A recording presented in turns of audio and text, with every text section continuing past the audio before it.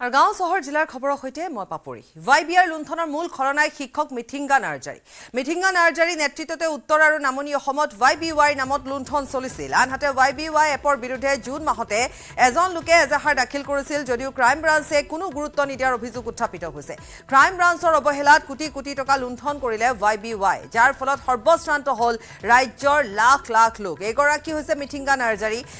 তেওঁক মূল খলনায়ক বুলি কোৱা হৈছে। কাৰণ তেওঁ এগৰাকী শিক্ষক আৰু তেওঁৰ পৰাই এনেধৰণে এই গোটেই জালখন মেলা বুলি জানিব পৰা গৈছে।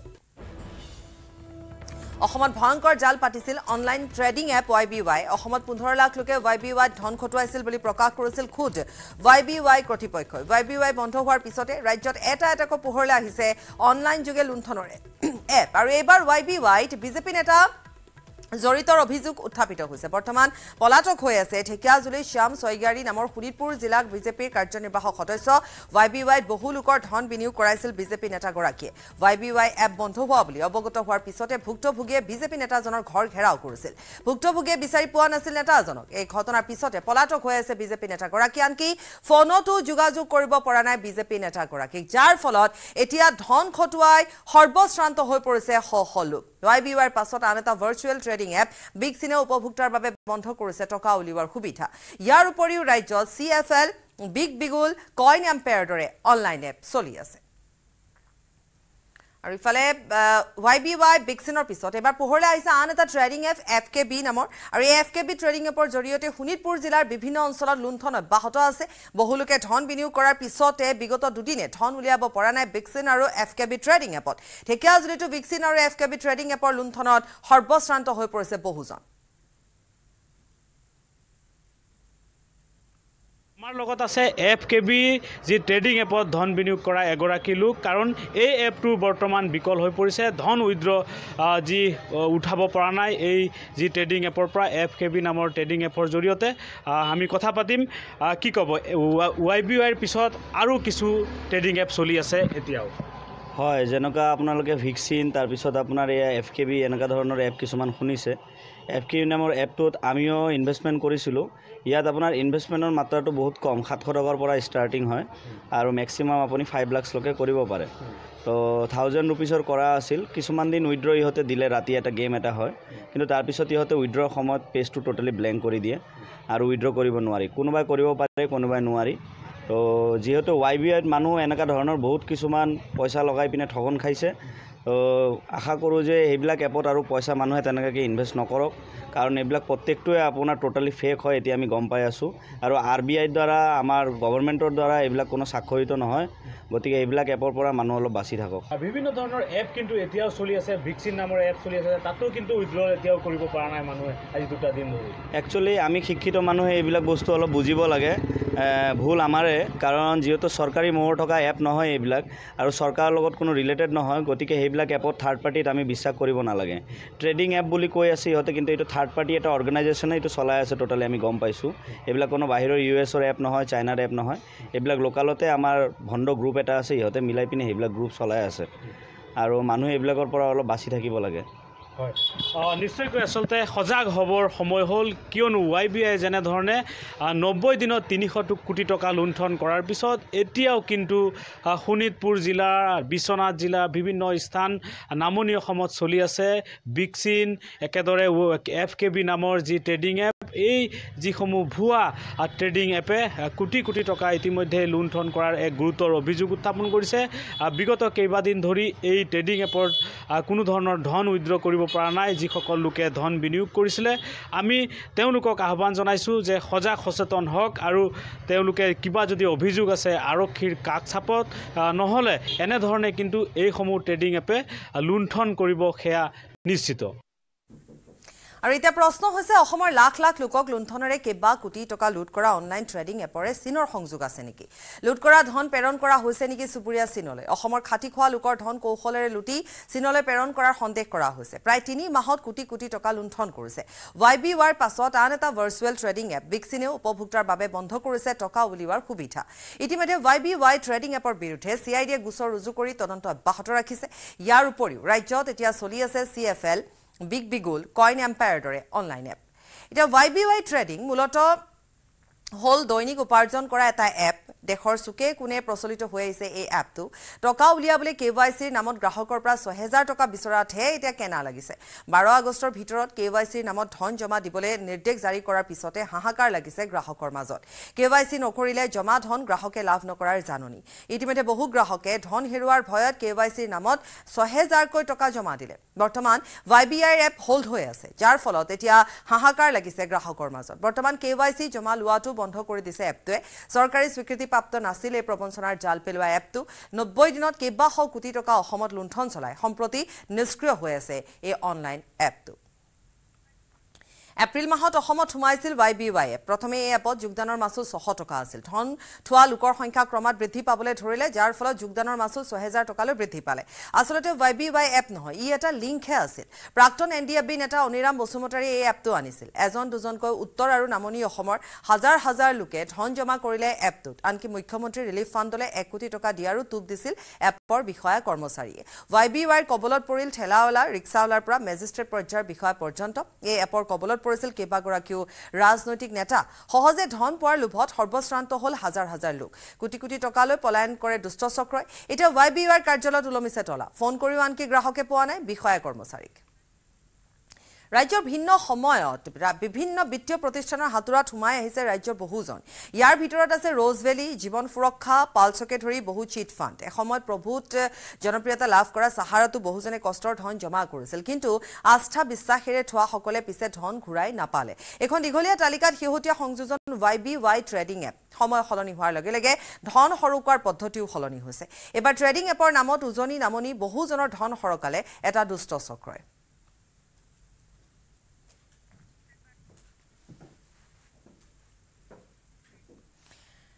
নৱগ্ৰহ শ্মশানত মুখ্যমন্ত্ৰী ডক্টৰ হিমন্ত বিশ্ব শৰ্মা নৱগ্ৰহ শ্মশানত নতুনকৈ মুকলি কৰা হৈছে সৎকাৰ থলী। পোনপটীয়া সম্প্ৰচাৰ আমি আগবঢ়াম।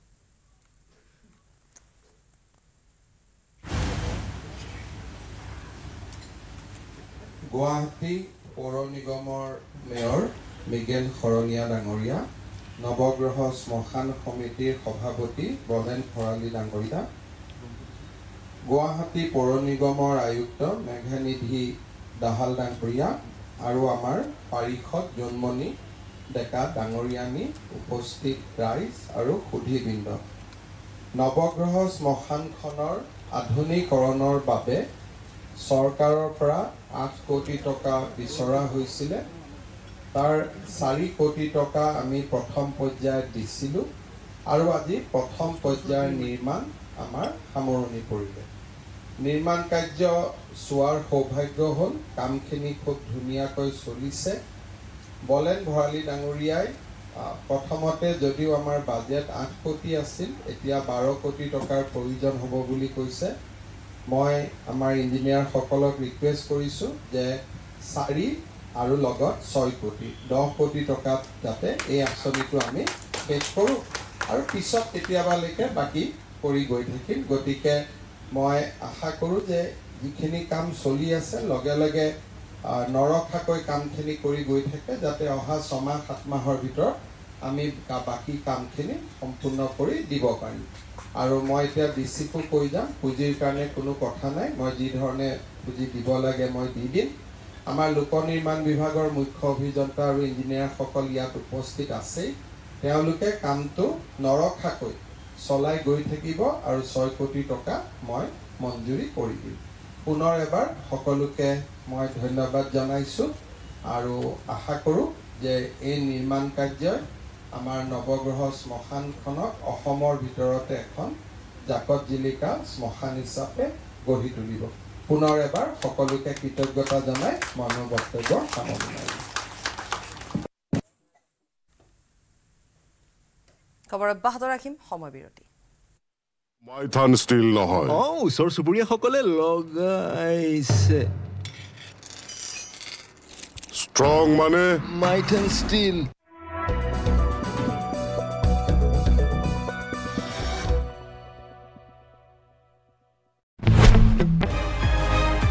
খোদ শিক্ষকেই ভৰসা কৰা ৱাই বি ৱাইক লৈ প্ৰশ্ন কৰাৰ কোনো কাৰণ দেখা নাছিল আন লোকে। শিক্ষকৰ ৰাজচখৰ লগতে ৱাই বি ৱাইৰে জড়িত একাংশই মেল মিটিং পাতি ভৰসা দিয়াৰ পাছত ৰাতিটোতে লাখৰ ঘৰ পালেগৈ বিনিয়োগকাৰী। মুখ্যমন্ত্ৰীৰ ৰিলিফ ফাণ্ডলৈ এক কোটি টকা অনুদান দিয়াৰো উৰা বাতৰি বিয়পায়ো বিনিয়োগকাৰীৰ মন জয় কৰিলে দুষ্ট চক্ৰই। কিন্তু দুই আগষ্টৰ পিছৰ পৰা হঠাৎ অন্তৰ্ধান হৈ গ'ল কাৰ্যালয় খুলি বিনিয়োগৰ জ্ঞান দিয়া ৱাই বি ৱাইৰ বিষয়া কৰ্মচাৰী। আনকি সাধাৰণ কথাতে পিষ্টল দেখুৱাই মানুহক ভাবুকি দিয়া প্ৰাক্তন এন ডি এফ বি নেতা অনিৰাম বসুমতাৰীৰো সন্ধান পোৱা নাই বিনিয়োগকাৰীয়ে।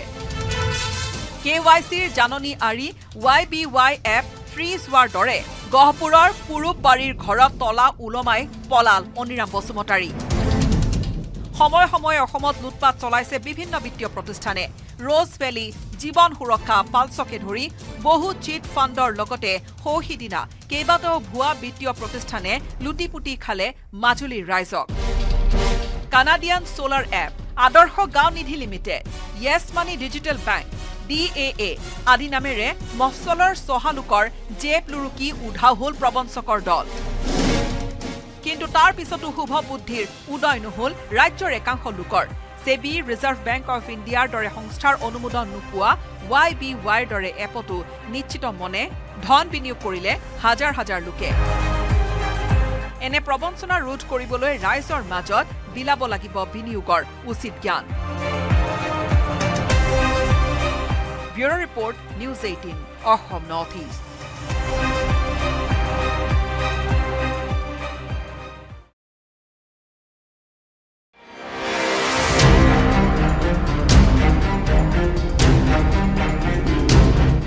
অসমত ৱাই বি ৱাইৰ লুটপাট।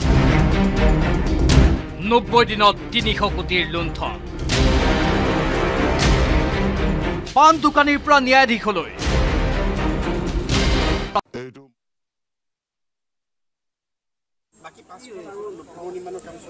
লগে লগে চলিব গোটেই তাতে গোটেই ড্ৰয়িংখন ৰাখিছে আপোনালোকে এবাৰ চাই যাব।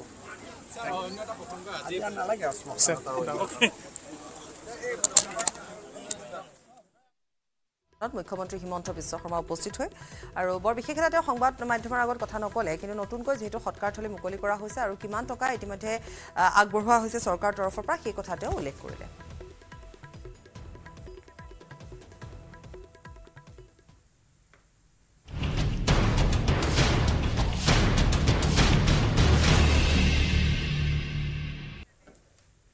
কলকাতা চিকিৎসক ধৰ্ষণ হত্যাকাণ্ডক লৈ দেশজুৰি চিকিৎসকৰ প্ৰতিবাদ অব্যাহত আছে। স্বাধীনতা দিৱসৰ প্ৰাক নিশা ৰাজপথত এদল মহিলাই প্ৰতিবাদ সাব্যস্ত কৰিবলৈ সাজু। হৈছে স্বাধীনতাৰ প্ৰশ্নৰে কলকাতাৰ প্ৰেছিডেঞ্চি বিশ্ববিদ্যালয় ছচিয়লজী বিভাগৰ গৱেষক ৰিমঝিম সিনহাই চৈধ্য আগষ্টৰ নিশা প্ৰতিবাদত বহাৰ সিদ্ধান্ত ফেচবুক লাইভযোগে তেওঁ প্ৰকাশ কৰিছিল। ৰিমঝিমৰ প্ৰশ্ন আছিল যে ঊনৈছশ সাতচল্লিছ চনৰ চৈধ্য পোন্ধৰ আগষ্টৰ মাজনিশা স্বাধীনতা লাভ কৰা ভাৰতত আজিও কিয় মহিলা সুৰক্ষিত নহয় বা আজিও মহিলাৰ কিয় স্বাধীনতা নাই? ৰিমঝিমৰ ফেচবুক পোষ্ট সম্প্ৰতি ভাইৰেল হৈছে আৰু ৰিমঝিমৰ প্ৰতিবাদৰ প্ৰতি সমৰ্থন জনাই বহু লোকে প্ৰতিবাদত যোগদান কৰাৰ কথা প্ৰকাশ কৰিছে। ৰিমঝিমে ফেচবুক পোষ্টত জি কৰ চিকিৎসা মহাবিদ্যালয় হাস্পাতালত সংঘটিত হোৱা ঘটনাৰ কথা শুনি অসুৰক্ষিত অনুভৱ কৰাৰ কথা প্ৰকাশ কৰাৰ লগতে ক'লে আমি আমাৰ চহৰখনতে সুৰক্ষাৰ কথা চিন্তা কৰি ভীতিগ্ৰস্ত হৈ পৰিছো। কৰ্তব্যৰত এগৰাকী চিকিৎসকে যদি মৃত্যু মুখত পৰিবলগীয়া হৈছে তেন্তে চহৰৰ আন সাধাৰণ মহিলাৰ কি গতি হ'ব পাৰে? ৰিমঝিমে প্ৰশ্ন কৰিলে কিয় নিশা মহিলা ঘৰৰ বাহিৰ হোৱাৰ অধিকাৰ নাই? আমাৰ চৰিত্ৰ কিয় বাৰে বাৰে প্ৰশ্ন কৰা হৈছে? লগতে ক'লে আমি আমাৰ ৰাতিৰ অধিকাৰৰ সাব্যস্ত কৰিম। পোন্ধৰ আগষ্টৰ নিশাৰ পৰাই আৰম্ভ হ'ব আমাৰ নিশাৰ অধিকাৰ। মহিলাৰ বাবে মাজ নিশাৰ অধিকাৰ বিচাৰি ৰিমঝিমে আহ্বান জনোৱা প্ৰতিবাদলৈ ভিন্ন ক্ষেত্ৰৰ বহু মহিলাই সমৰ্থন আগবঢ়াইছে। ভিন্ন ক্ষেত্ৰৰ চেলিব্ৰিটি বুদ্ধিজীৱী গৃহিণীকে ধৰি বহু মহিলাই ভাগ ল'ব ৰিমঝিমে গুৰি ধৰা এই নিশাৰ প্ৰতিবাদত this Independence Day, when we celebrate the independence of India, I will want to celebrate my independence as a woman. And that is why I had given the call on Facebook.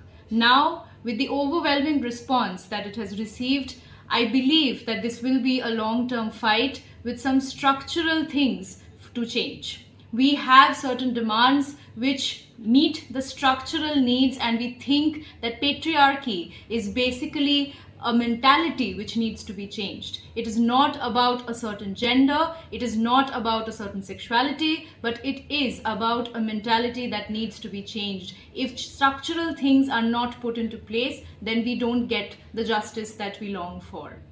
So we have demands to include gender equality as a topic in school curriculums and demands like including transport at night which is safe and secure. We have demands that say that restrooms should be there which are secured for every woman who is trying to give the service into the society as in night duties. So we want creches in places where women come at workplaces. Demands like these, which challenge the system, which challenge the system that always talks and thinks in the patriarchal mindset, would actually go forward long term for a better change in the society.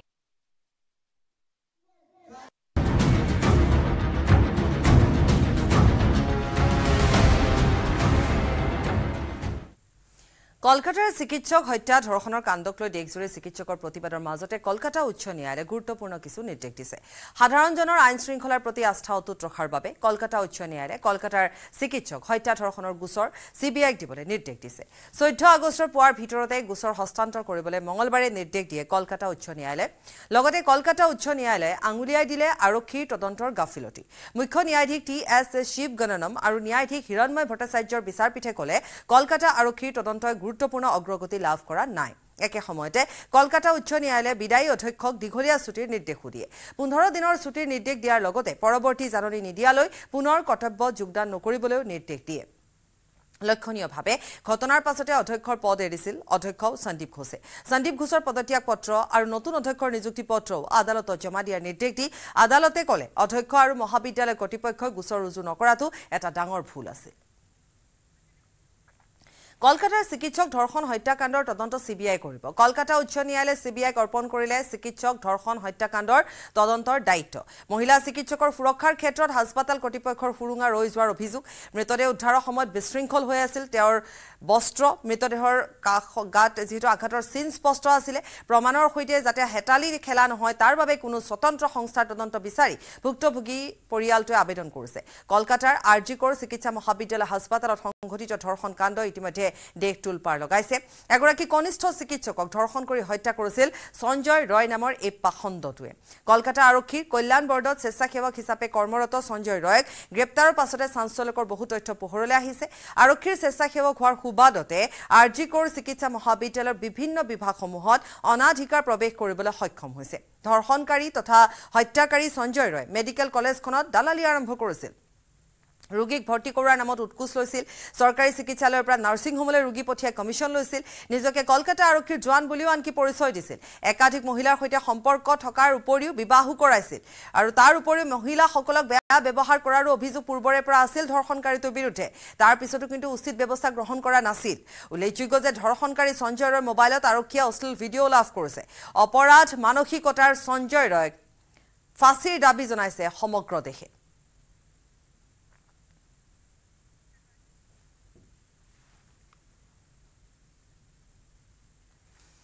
আৰু ইফালে S M C এইচৰ কৰ্তৃপক্ষই জাৰি কৰা বিতৰ্কিত পৰামৰ্শৱলী বাতিল কৰিছে মুখ্যমন্ত্ৰীৰ কাৰ্যালয়ে। কলকাতাৰ আৰ জি কোৰ কাণ্ডৰ পিছতে এছ এম চি এইচ কৰ্তৃপক্ষই এখন পৰামৰ্শৱলী জাৰি কৰিছিল। মহিলা চিকিৎসক কৰ্মচাৰীৰ বাবে মঙলবাৰে প্ৰকাশ কৰিছিল বিতৰ্কিত পৰামৰ্শৱলী। আজি মুখ্যমন্ত্ৰীৰ কাৰ্যালয়ে বাতিল কৰে পৰামৰ্শৱলী। আৰু এই বিতৰ্কিত পৰামৰ্শৱলীখন ইতিমধ্যে বাতিল কৰা হৈছে। তাত কি কি আছিল আমি জনাম। আৰ জি কৰ মেডিকেল কলেজৰ চিকিৎসক ধৰ্ষণ হত্যাকাণ্ডৰ পিছত এই পৰামৰ্শৱলী ইতিমধ্যে দিয়া হৈছিলে বা জৰুৰী বৈঠক অনুষ্ঠিত হৈছিলে। বৈঠকত কেইবাটাও পৰামৰ্শ জাৰি কৰা হৈছিলে। মহিলা চিকিৎসক ছাত্ৰী আৰু কৰ্মচাৰীসকলে নিৰ্জন আন্ধাৰ আৰু কম জনবসতিপূৰ্ণ অঞ্চল পৰিহাৰ কৰিব লাগে। মহিলা চিকিৎসক ছাত্ৰ ছাত্ৰী আৰু কৰ্মচাৰীসকলে সম্ভৱ হ'লে অকলে থকা পৰিস্থিতিৰ পৰা আঁতৰি থাকিব লাগে। নিশা হোষ্টেল বা লজিং হাউচৰ পৰা ওলাই যাব নালাগে যদিহে একেবাৰে প্ৰয়োজনীয় নহয় আৰু তেনে ক্ষেত্ৰত সংশ্লিষ্ট কৰ্তৃপক্ষক আগতীয়াকৈ অৱগত কৰিব লাগে। পলমকৈ কেম্পাছৰ বাহিৰলৈ যোৱাটো এৰক। হোষ্টেলৰ সকলো আৱাসীয়ে প্ৰতিষ্ঠান আৰু প্ৰশাসনে নিৰ্ধাৰণ কৰা হোষ্টেলৰ নিয়ম মানি চলিব লাগিব। সাৱধান হওক আৰু অচিনাকি বা সন্দেহজনক মানুহৰ পৰা আঁতৰি থাকক। জৰুৰীকালীন অৱস্থাত যোগাযোগৰ মাধ্যম থকাটো সদায় নিশ্চিত কৰক। কৰ্তব্যৰ সময়ত মানসিক স্থিৰতা বজাই ৰখা চৌপাশৰ প্ৰতি সচেতন হোৱা আৰু জনসাধাৰণৰ সৈতে সৌজন্যতাৰে মত বিনিময় কৰা যাতে অসাধু ব্যক্তিৰ পৰা অপ্ৰয়োজনীয় দৃষ্টি আকৰ্ষণ নকৰে। কিন্তু ইতিমধ্যে চি এম অ' কাৰ্যালয়ে এই পৰামৰ্শৱলী বাতিল কৰিছে।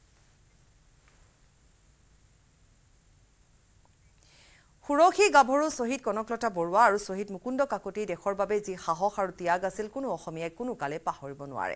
শ্বহীদ কনকলতা বৰুৱাৰ জন্মস্থলী গহপুৰ বৰঙাবাৰী পোন্ধৰ নং ৰাষ্ট্ৰীয় ঘাইপথৰ কাষতে জ্যোতিষ্মান হৈ আছে শ্বহীদগৰাকীৰ প্ৰতিমূৰ্তি। ঠিক একেদৰে গহপুৰ নগৰৰ মাজমজিয়াত বৰপুখুৰী পাৰত শ্বহীদ কনকলতা মুকুন্দ কাকতি উদ্যানত ব্ৰঞ্জৰ প্ৰতিমূৰ্তিৰে সজীৱ কৰি ৰাখিছে দুয়োগৰাকী শ্বহীদক। গহপুৰ শ্বহীদ কনকলতা মুকুন্দ কাকতি উদ্যানখন অসম চৰকাৰে পৰ্যটকৰ বাবে সুন্দৰকৈ শেহতীয়াকৈ সজাই পৰাই তুলিছে। বহু লোকে বহু পৰ্যটক এতিয়া গহপুৰলৈ আগমন ঘটে। গহপুৰৰ স্মৃতি বিজড়িত উদ্যানখনলৈ। কাষতে গহপুৰৰ ঐতিহাসিক থানখন আছে য'ত কনকলতা বৰুৱা আৰু মুকুন্দ কাকতিয়ে ব্ৰিটিছৰ গুলী বুকু পাতি লৈছিল। পলাশ ফুকনৰ প্ৰতিবেদন আগবঢ়াম। শ্বহীদ কনকলতা বৰুৱাৰ কুটিৰত মই উপস্থিত আছোঁ আৰু মোৰ সৈতে আছে শ্বহীদ কনকলতা বৰুৱাৰ ভাতৃ কালীচৰণ বৰুৱা। মই প্ৰথমে আপোনাক এটা প্ৰশ্ন সোধোঁ সেই তেতিয়াৰ স্বাধীন আৰু আজিৰ স্বাধীন কি দেখিছে আপুনি? বৰ ধন্যবাদ মই নিউজ এইটিনৰ ধন্যবাদ জনাই পেলাই মই কথাকেইটা ক'বলৈ গৈ আছোঁ। আৰু বিশেষকৈ এতিয়া প- মোক প্ৰশ্ন কৰিলে সেই প্ৰশ্নটোৰ উত্তৰ সঠিক উত্তৰটো দিবলৈ গ'লে আগৰ যি স্বাধীনতা বুলি ক'লে মানে আগৰ দিনতে স্বাধীনতা বুলি ক'লে পোন্ধৰ ঊনৈছশ সাতচল্লিছ চনৰ পোন্ধৰ আগষ্টৰ পাছৰ পৰাই স্বাধীনতা স্বাধীন দিৱসৰ দিনটো পোন্ধৰ আগষ্টৰ দিনটো মানে মানুহৰ কাৰণে এটা বৰ স্মৃতি আৰু অতি এই অতি খুব আনন্দৰ দিন বুলি চব গণ্য কৰে।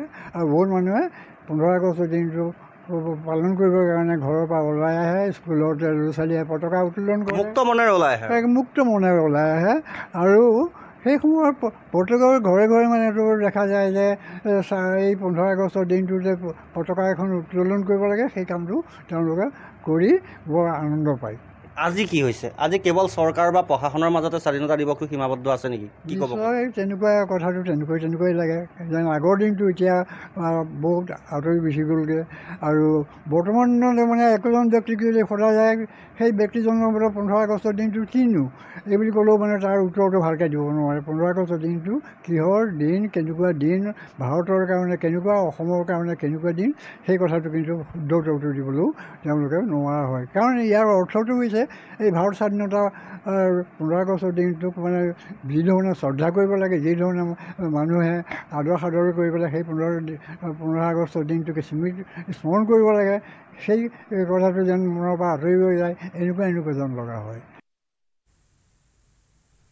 পাকিস্তানৰ স্বাধীনতা দিৱসৰ শুভেচ্ছা জনাই ৰাইজৰ ৰোষত পৰিল এগৰাকী স্বাস্থ্যকৰ্মী।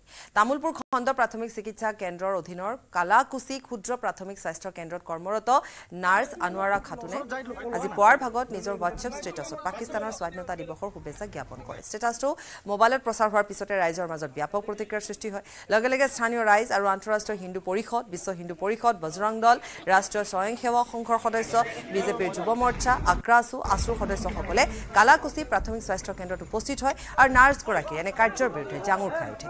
ইপিনে এই খবৰ লাভ কৰি তামোলপুৰ আৰক্ষী ঘটনাস্থলীত উপস্থিত হৈ নাৰ্ছগৰাকীক থানালৈ আনি ঘটনা সন্দৰ্ভত তদন্ত আৰম্ভ কৰিছে।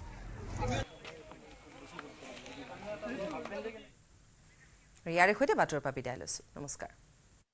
মাইথান ষ্টীল নহয়।